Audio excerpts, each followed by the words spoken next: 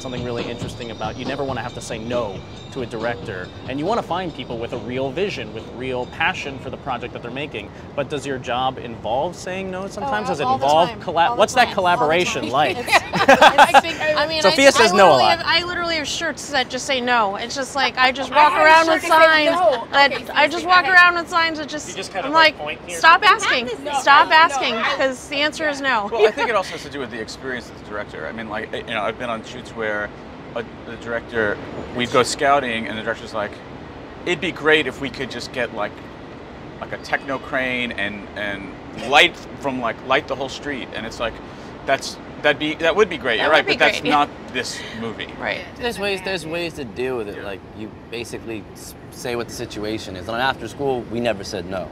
We, we cut traditionally on film, like, and then like, but what changed was when we did Martha. Antonio produced Martha, so we had some perspective. So like we were fighting and killing ourselves But to give him what guys he wanted. trust each other. Of course we That's, do. then, then, You guys that's are the like distinct blood brothers, difference. you Yes, know. but So we- it's that took 10 If years. someone That's- says no, and then you know, or you can't, or like, all right, for real, like we can't do this. It's a trust there. Like Right. you know what? I trust you. It's not- It's not a pushback of, well, why not? just Let me see the yeah. Right. Yeah, let no, me see we the line put it this way. We had no. We went to do Simon Killer. uh, I moved to Paris a week after Martha. Tony hands me an outline. We have a great, great investor who just supported. Like he was on the floor with us, and but literally Tony's like, I want to shoot in the Louvre. I want to shoot in the Museum d'Orsay.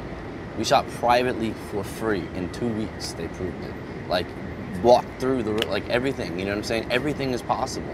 I agree. Everything. If you love somebody, you can do whatever it is, and it's like it's that's how you have to treat it. Like I think that's the secret. You just say Yeah. yes to It's everything. where where are the he- no he's goes.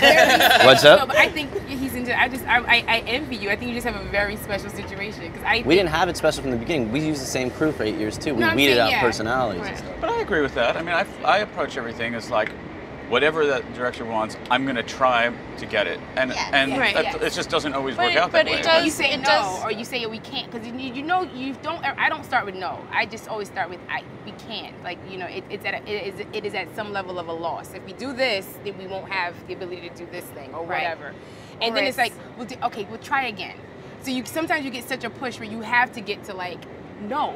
Like no this can't happen. Well, I, I think basically where I was coming from before was I think that we've probably all had experiences with with uh, directors or producers that we've worked for who don't have as full an understanding of like where the money should go or where it can be actually best utilized for the best of the film. And then all of a sudden you are fighting your own team to try to make what they want to happen. And you know those are really hard lessons to learn but i think that that does come into play once you have built a trust with directors that you're working with that it's like if i say that we really can't make this happen you just implicitly understand that i have killed Exhausted, myself yes, to try to make it happen Right. and um, I mean, I think a lot of it is about respect. I've had some amazing experiences with directors who trust, like that you are doing everything within your power to actually get them what Right. they need, and that's an amazing relationship.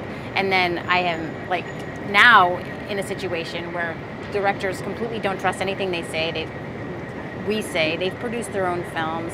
They think we're like an endless faucet for money, and they always are like looking around the other corner for for things that we're saying are just not possible or not good. And it's a terrible, Yeah. incredibly upsetting relationship when you've put years into something Yeah. and someone keeps um, undermining. it. undermining yes So